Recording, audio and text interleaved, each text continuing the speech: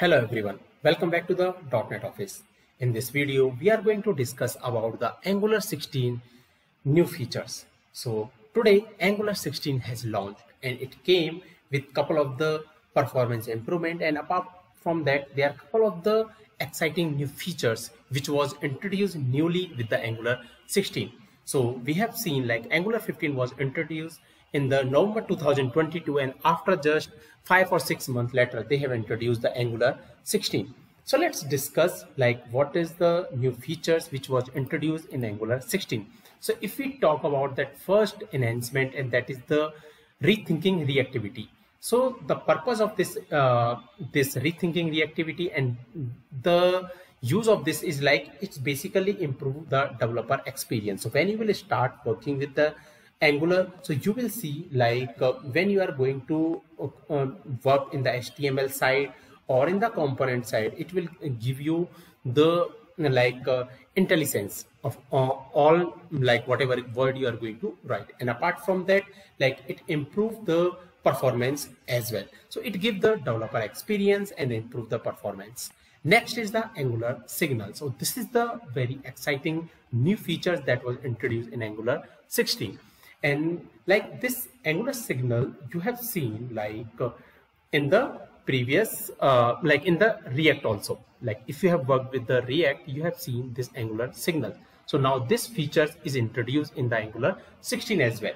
So now with this library this angular signal library now it will allow us to define reactive values and express dependencies between them.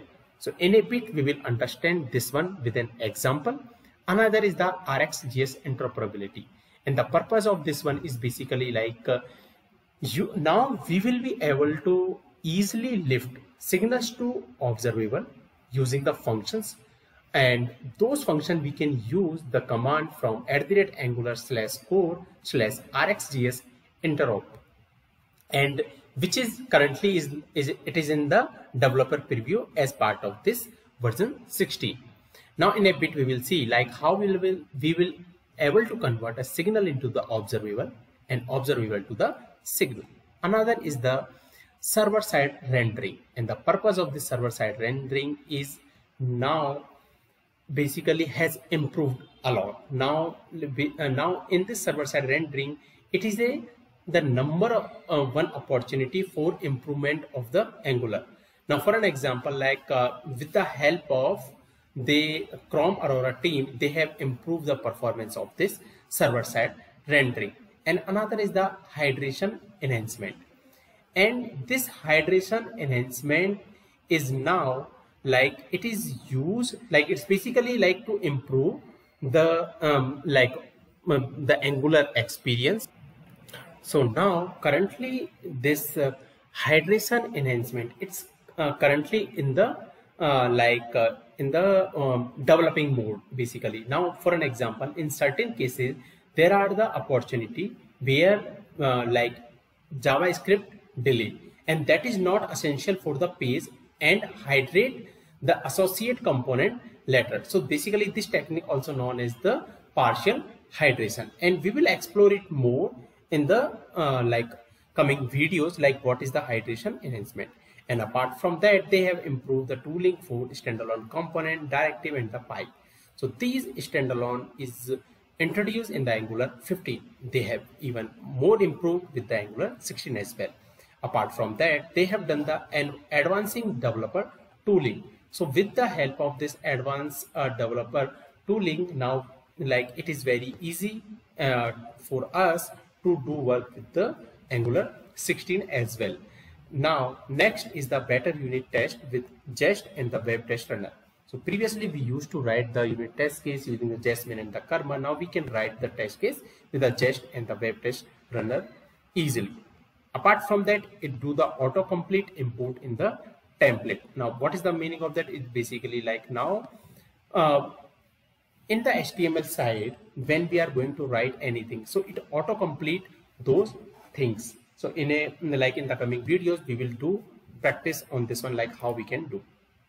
If we talk about a little bit briefly of all these properties so rethinking reactivity like it's basically to improve the performance and developer experience. Apart from that it is completely depend on the backward compatible and inoperable with current system and then it enable it.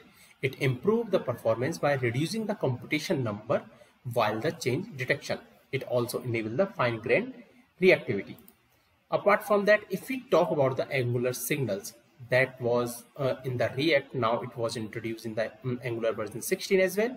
So now for an example here you you can see like what is happening we are going to print the full name. Now with using the signal how we are going to print that full name it's basically like it depend on the signals. Here we have taken the first name and last name two signals and we are giving some number. Now to print this full name we, what we are doing we are computing. We are computing these values like these variables and using the effect. So here we have defined the effect which is basically a callback. So which callback will execute every time when we change any value of the signal and it read in the full name. And using the display name we are printing that full name. We are setting it. So this is the way signals works. Another is the rxjs interoperability. Probability. So now with this now for an example if i want to convert observable to signal so the main method that is the to observable you can see. And it comes from this library here.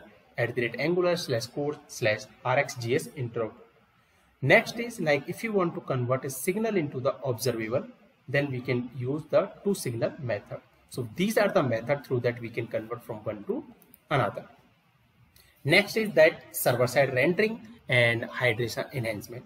So like uh, as per mm, help of the Chrome Aurora team, they have done the improvement performance uh, on the server side rendering and they have even improved the uh, like a couple of the like performance uh, in the angular side as well.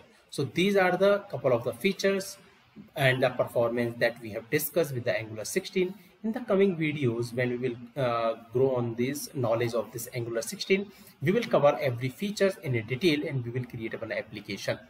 And we will see like how it works. So that's it for this video. If you have any question and doubt please comment. Thank you